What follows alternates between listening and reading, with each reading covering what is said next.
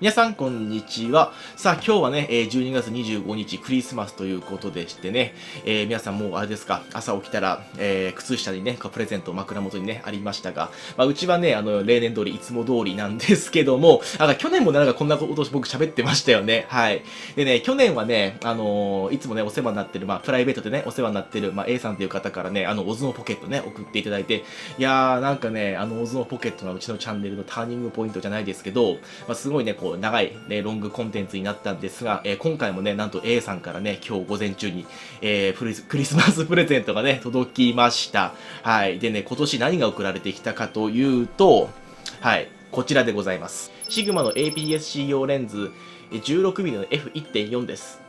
いやー、まさかね、これが来るとはね、思いませんでした。いや、A さん本当にね、ありがとうございます。毎年なんかこうね、こうびっくりするような、えー、プレゼント送ってくれる方なんですけどね、今年はまさかね、この、えー、シグマのね、このレンズでしたか。あ、確かに僕ちょっと前にね、このカメラ α6000 買った時にね、えー、どのレンズ買おうかなって話動画で、えー、してたと思うんですが、えー、もしかしてそれね、見てくれたんでしょうか。はい。うん。で、確かね、その時僕は結局その、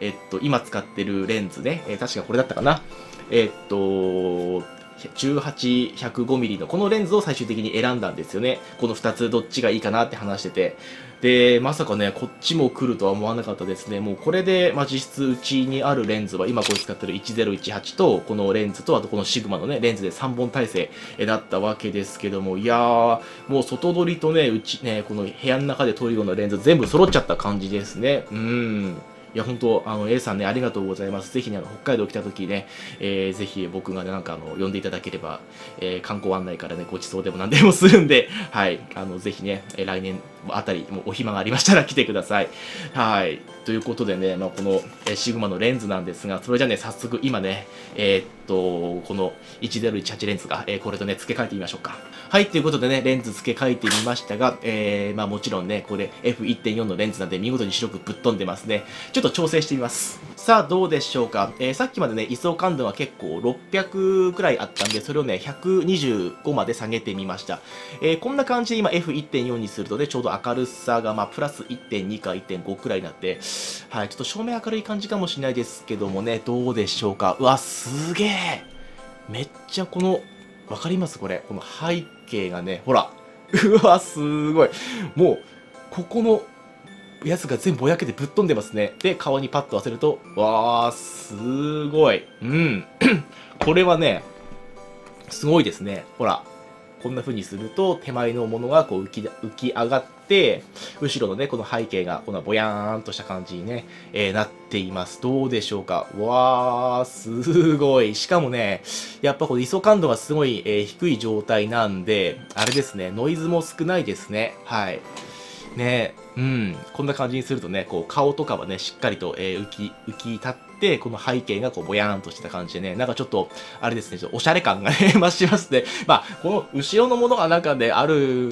のがちょっとおしゃれかどうかわかんないですけど、でもなんかすごくね、明るい、わー、すごい明るいレンズだな。うん。これはね、いいですね。はい。まあ、室内でもね、こんなにいいわけですからね、野外で撮ったらね、どうなんでしょうか。ただ、えー、こちらね、このシグマのレンズはね、えー、ボディ内手ブレ補正がないので、あの、アルファ6100もボディ内手ブレ補正がありません。つまり、こう、えー、レンズに手ブレ補正なし、ボディに手ブレ補正なしの、こう、なしなしの、えー、コンビなんですよね。で、僕が今まで使ってたこういったレンズって、こう、レンズ内に手ブレ補正があったんで、結構ね、そのジンバルに乗っけたりすると、えー、そこそこね、補正してくれるんですが、はい、さて、この状態で、え今ちょっとこうね、13からお借りしている、えこの DJI のね、ローニン SC に乗っけてね、歩いてみたりすると、どんな風になるのか、ちょっと気になりますよね。えそれじゃあ早速ね、えちょっと外出て撮ってみましょうか。さあということでね今外にやってきました、えー、どうでしょうか？今ねあのー、ジンバルに乗せてね、えー、自撮りしながら歩いてるんですが多分これだったらねそこまで手ぶれとかは気にする必要はねあんまないかと思います。であのー、さらに F1.4 にしちゃうともう明るすぎてあの全部白飛びしちゃってるんで今ね ND フィルターつけてねちょっとやってます。ちょっと強すぎるかな。はい。このくらいでね、えー、ちょっと歩いていきましょうか。いやーそれにしてもやっぱすごいあれですね。あの明るいレンズなんでこの後ろの背景とかをね結構いい感じにねボケてくれてるのかな。ちょっとね僕のこの画面からじゃ分かりづらいんですけどうん。多分こんな感じのね自撮りだったらあのジンバルに乗せればね、えー、この α6100、ね、あのボディ内手ブレ補正ないんでレンズなし、えー、ボディなしでもそこまで気にならないかとは、え、思います。ちょっと前の方に向けてみましょうか。さあカメラをね前の方向に、向けてみました、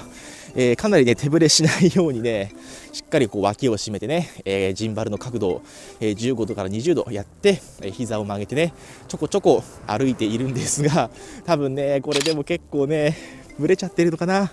うん。ボディ内手ぶれ補正一切ないですからね。うん。もしかしたらこういったね背景とか風景ねあ背景が違う。風景をね撮るにはこれね向いてないのかもしれないです。そしてこれなんか今じわじわとジンバルがねこうドリフトしちゃってるのかな？うん。わかんないですけど。はい。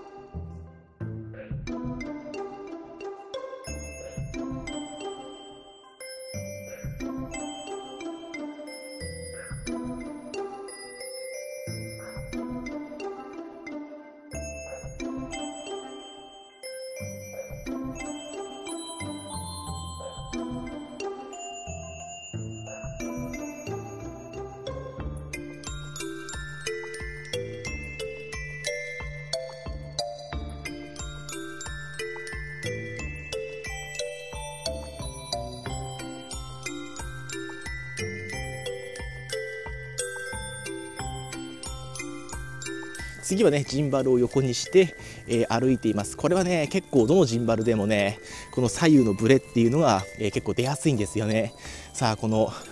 えシグマのねこの 16mmF1.4 では、えどんな感じになってるでしょうか。僕画面全然わかんないんでちょっとね分かりづらいんですけどはい。どうかな？うん。はいということでねまた自撮りに切り替えましたが、えー、どうでしょうかね、うんいやさすがにこのロニー SC いくら軽いといってもこんな感じで 自撮りするとねなかなか手にね 来ますね疲れがね。うん。まあまあそれでもね、えー、ちょっと家帰って、え、どんな映像になってるか、えー、見てみましょうか。さあ、ということでね、家に戻って、映像の方を確認してみましたが、えー、そうですね、こう自撮りとかね、しながら、えジンバルを持ってね、こんな風にカメラで、え自分を撮ってるんであれば、そこまでね、あの、やっぱ振動って気にならないですね。被写体がはっきりしてるんで、まあ、そこまでこう、まあ、目くじら立てて、うん、いうようなことでもないかなと思ったんですが、やっぱりね、カメラを正面に向けて、え歩いた時ですね、しっかりこう、ね、ジンバル、え固定して傾けてね、こう、えちょこちょこ歩いても、やっぱりね、こう、ガタガタガタってね、振動激激しくで、拾っちゃいますね。うん。そうですね。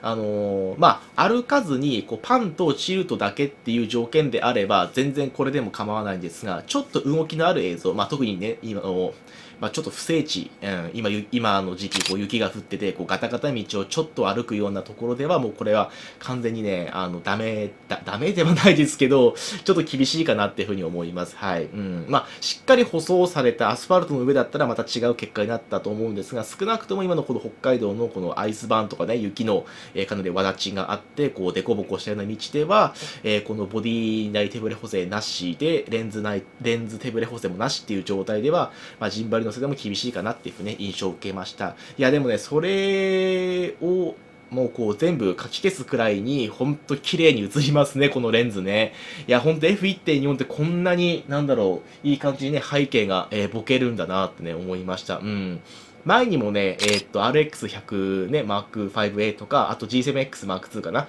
あれも全部 F1.8 だったんで、まあ F1.8 と F1.4 でそこまで顕著に差があるかっていうと、まあ多分ないとは思うんですが、センサーサイズもでかいし、レンズも今までと比べてでかいんで、本当にね、こう、明るすぎるくらいに明るいんですよね。もう、野外で使うときは、あれですね、ND フィルターはほぼほぼ必須ですね。はい。あの、しっかりこう開放で撮るときはね。あある程度 F8 とかまでまあ絞ってあげれば、まあ多分、あのー、シャッタースピードとかでアウとは何とでもなると思うんですが、うんまあ、せっかくこのレンズね使うんであればしっかりとねこう開放で撮りたいですよね、まあ、もし本当ねそれ以外でしたらこういったいつものねレンズで撮れば、まあ、いいわけですからはい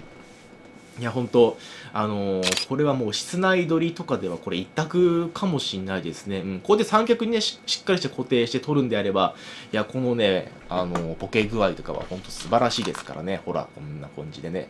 こうスパッとね、えー、ピントがね、こうあって、こうスパッと戻るっていう、ほんと気持ちいい感じにね、こうパッパッパってピントがあってくれますね。はい。もう、あのー、アルファ6400のね、このオート、応答速度っていうのかな、オートフォーカスのスピードと、ね、このシグマの明るいレンズが組み合わあ組み合わさって、もう、えー、部屋撮りではこれ最強の 組み合わせなんじゃないでしょうか。はい。